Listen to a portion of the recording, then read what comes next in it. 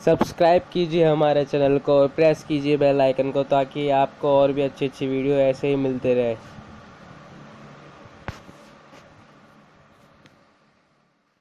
Thank you.